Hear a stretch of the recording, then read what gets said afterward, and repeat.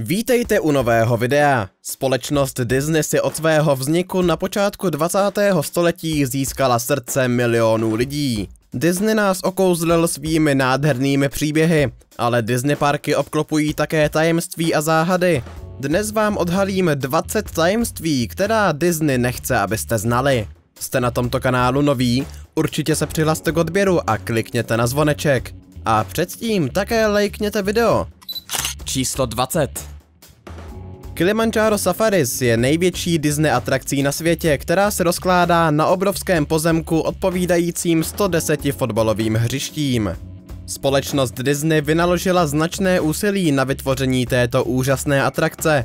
A co je ještě zajímavější, nápad na ní ve skutečnosti nepochází od nikoho jiného, než od samotného Volta Disneyho. Právě on hrál při vymýšlení této atrakce významnou roli. Když společnost Disney plánovala království zvířat, Voltův sen o skutečném divokém dobrodružství se stal skutečností až na ty stromy. Nádherné baobaby, které vidíte na Kilimanjaro Safaris, nejsou skutečné, jsou vyrobeny z betonu. Ve skutečnosti mají baobaby neuvěřitelně silné kmeny a dokáží v sobě uchovávat vodu, zejména během dalších období sucha. V Disneyho zvířecím království ve vesnici Harambe stával skutečný strom baobab. Bohužel tento krásný strom po velmi chladné zimě před několika lety nepřežil. Číslo 19. Každý večer, když se Disney Park zavře, je vypuštěno přibližně 200 koček, které se nenápadně potulují po jeho posvátném areálu. Jejich nesmírně důležitý úkol? Udržet pod kontrolou myší populaci a zajistit, aby park zůstal pro všechny návštěvníky vždy čistý a krásný. Nikdo vlastně neví, kde se tyto všechny kočky vzaly, ale lidé si jich poprvé všimli v roce 1955. Když společnost Disney vytvářela atrakci Castle Walkthrough, do hradu se náhle dostala skupinka toulavých koček, které se rozhodly zůstat spolu se spoustou otravných blech. Walt Disney naštěstí přišel s chytrým řešením. Zpočátku se pokusil kočky adoptovat. Mezitím měl Disneyland díky svému venkovnímu prostředí podobnému přírodě vlastní problém s velkým množstvím myší. Rychle si uvědomili, že kočky jsou při chytání těchto myší velmi účinné a nebojí se lidí. Rozhodli se tedy, že si kočky ponechají a budou se o ně starat. Aby se zajistilo, že koček nebude nadměrné množství, byly odchyceny, vykastrovány a poté vráceny na svá známá místa. Zábavné je, že v boji proti myším společnosti Disney nepomáhají jen kočky, ale také kachny, husy a ještěři. Číslo 18. Možná se vědomě nevzpomínáte, že byste ji někdy viděli, ale buďte si jisti, že jste se s touto zelenou barvou už někdy setkali. Jejím účelem je splynout s okolím, takže je téměř nepostřehnutelná. Tento světle šedavý chladný odstín zelené, známý pod různými názvy, se běžně označuje jako Go Away Green. V průběhu let si všímaví návštěvníci Disneylandu všimli této barvy na plotech, požárních hydrantech, potrubích a odpadkových koších. Její účel? Splynout s prostředím. Go Away Green je kombinací různých odstínů zelené. Zahrnuje směs hnědých, šedých a zelených odstínů, které vaše oči instinktivně přehlédnou. Na rozdíl od zářivé stavební oranžové, která upoutává pozornost, působí Away Green opačně. Jejím cílem je splynout se spektrem barvy, které vnímají vaše oči a stát se tak téměř neviditelnou. Všimli jste si této barvy, nebo jste ji jako miliony jiných přehlédli? Číslo 17. V polovině 50. let až do roku 1957 Werner von Braun úzce spolupracoval s Waltem Disney na sérii vlivných filmů, které popularizovaly koncept cestování člověka do vesmíru. Tyto filmy, včetně Man in Space, zaujaly ohromujících 40 milionů diváků a podnítily kolektivní fascinaci neznámem. Když však pronikneme do minulosti Wernera von Brauna, objevíme jeho nacistickou minulost. Pocházel z německo-amerického prostředí a byl plodným leteckým inženýrem a vesmírným architektem. V nacistickém Německu hrál klíčovou roli při vývoji raketové technologie a pilně pracoval v rámci programu vývoje raket v zemi. Werner von Braun se podílel zejména na návrhu a spoluvytváření revoluční rakety V2 během druhé světové války. Moonliner je raketová loď, která stojí jako významný symbol v Disneylandu Tomorrowland. Navrhl ji John Henge za pomoci Wernera von Brauna. Měla znázorňovat, jak by vypadalo komerční vozidlo na měsíci v tehdy vzdáleném roce 1986. Číslo 16. V kouzelné říši Walt Disney World se nachází skrytý klenot, který možná ani ti nejčastější návštěvníci nikdy neviděli. Apart má v popelčeně zámku, které bylo původně určeno jako osobní byt Walta Disneyho během jeho rodinných návštěv Orlanda, nebylo nikdy určeno veřejnosti. Walt bohužel zemřel ještě před jeho dokončením, což vedlo k tomu, že se apartmá v následujících desetiletích přeměnilo na skladiště a pracoviště telefonních operátorů Disney Worldu. V roce 2006 během propagační kampaně Year of Million Dreams bylo apartmá odhaleno jako popelčino apartmá. V rámci této kampaně společnost Disney udělila omezený počet noclehů v apartmá. V současné době však apartmá nelze rezervovat a proslýchá se, že společnost Disney odmítla úplatky ve výši až 40 tisíc dolarů za noc. V minulosti bylo apartmá příležitostně nabízeno vybraným jednotlivcům, včetně celebrit jako jsou Tom a Suri Cruiseovi, Mariah Carey a Kevin Jonas. Apartmá o rozloze 660 metrů čtverečních je inspirováno francouzskými zámky ze 17. století a má kazetové stropy, vitrážová okna a nádherný nábytek. Jeho dispozice zahrnuje foaje, salon, ložnici a koupelnu, z nichž každou zdobí jedinečné detaily vybrané Disneyho týmem. Říká se také, že slavní hosté v minulosti dostali na rozloučenou svůj vlastní skleněný střevíček. Číslo 15. Ve Walt Disney Worldu není tradiční vězení, ale dočasné zadržovací zařízení známé jako The Disney Jail. Slouží jako detenční centrum pro návštěvníky, kteří porušují pravidla parku, například se dopouštějí nezákonných činností nebo se chovají nebezpečně. Místo toho, aby společnost Disney vytvářela veřejnou podívanou, raději řeší takové záležitosti diskrétně za zavřenými dveřmi ve svém Disneyho vězení. Rozhodně to však není místo, kde by se chtěl někdo během své dovolené u Disneyho ocitnout.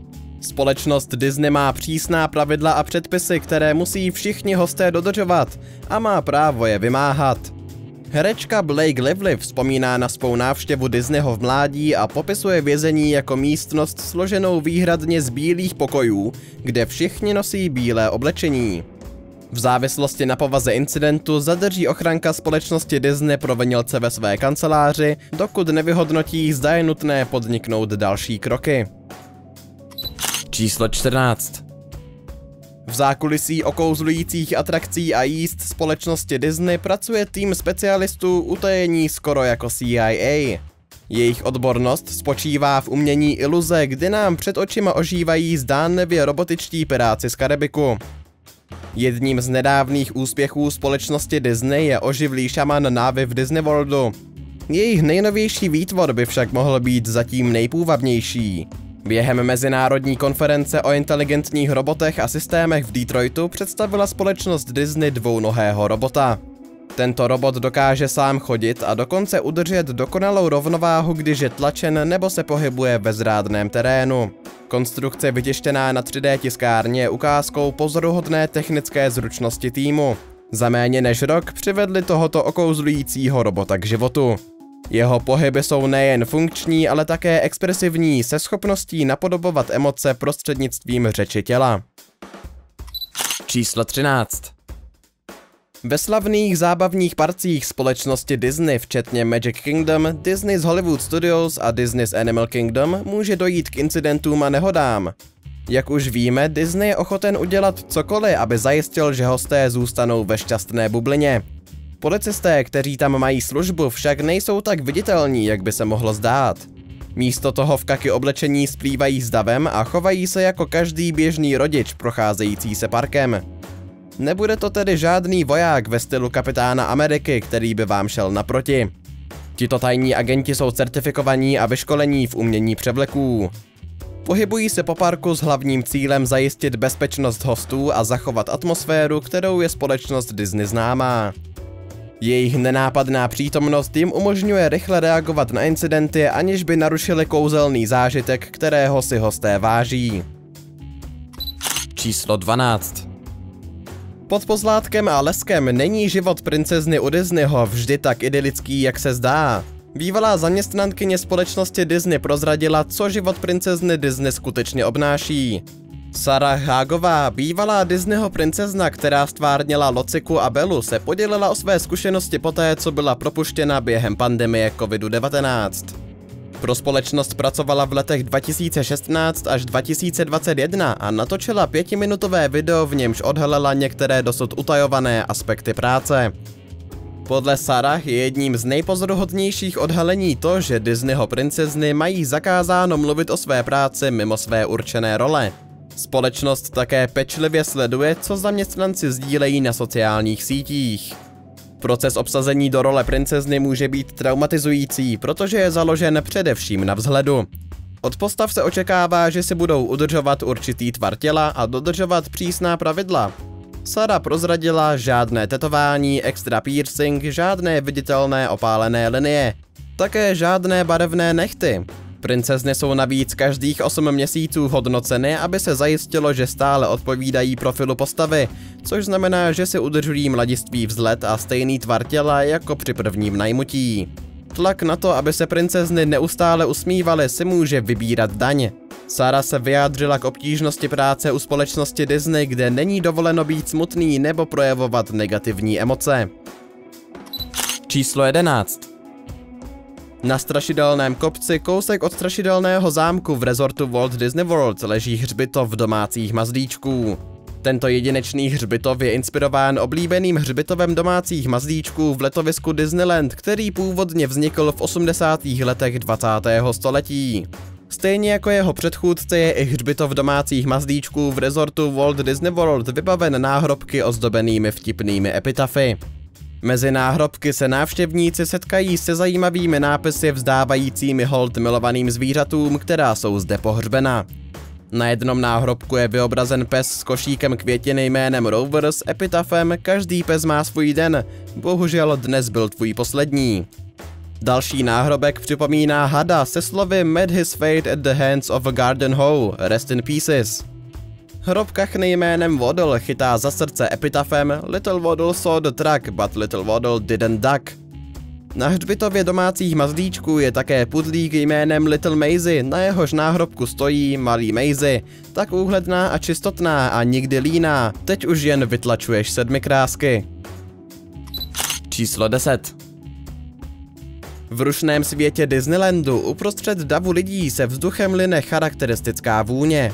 Ať už se ocitnete v Pirátech z Karibiku nebo se procházíte po Main Street USA, tato vůně se dostane až k vašemu nosu a vyvolává pocit známosti a nostalgie.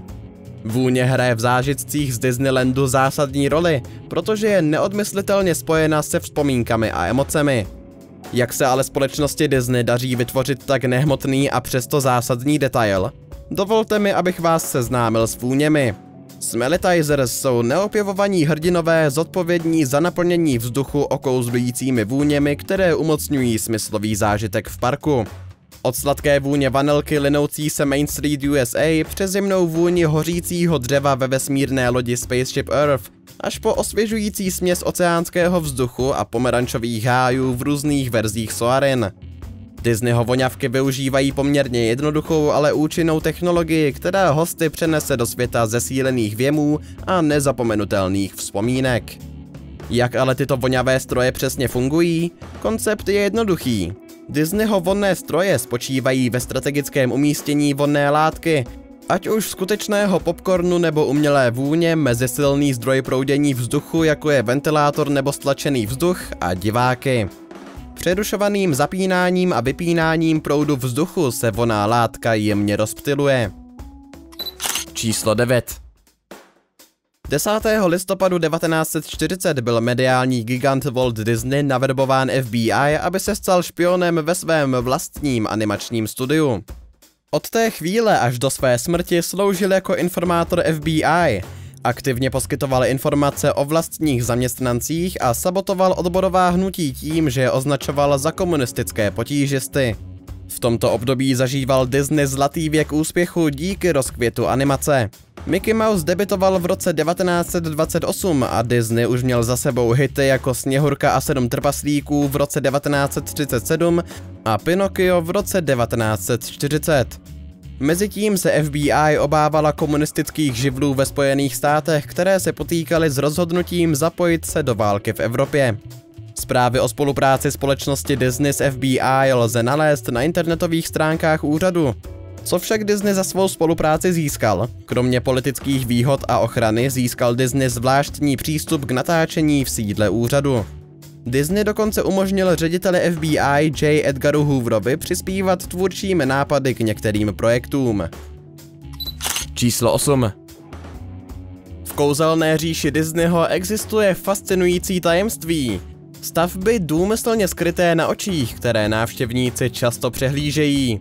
Společnost Disney ovládá umění maskování a používá barvy známé jako Bye Bye Blue a Go Away Green, které zajišťují, že tyto stavby zmizí v pozadí prakticky bez povšimnutí. Tyto důmyslné barvy byly společností Disney speciálně navrženy tak, aby nepřitahovaly pozornost náhodného pozorovatele. Společnost Disney tyto barvy strategicky používá, aby nevzhledná místa nenarušovala kouzelnou atmosféru jejich zábavních parků. Odpadkové koše a stavební ploty často nesou tyto barvy, které zachovávají kouzlo i v místech, kde probíhá údržba nebo úpravy. Zejména v Epcotu je řada budov natřena modrou barvou Bye Bye Blue, která je účinně maskuje před zvědavýma očima. Z dálky jsou budovy nerozeznatelné od oblohy. Číslo 7. Už jste někdy žasli nad zdánlivě rozporuplným zážitkem v Disneylandu, kde se všechno zdá být velké i malé zároveň? Tento vizuální úspěch není náhodný. Je to záměrné dílo dosažené technikou známou jako vynucená perspektiva. Budovy a objekty jsou konstruovány tak, aby se zdále větší než je jejich skutečná výška. Aby bylo tohoto efektu dosaženo, jsou budovy společnosti Disney navrženy v měřítku 1, 5 osmin, 1 polovina.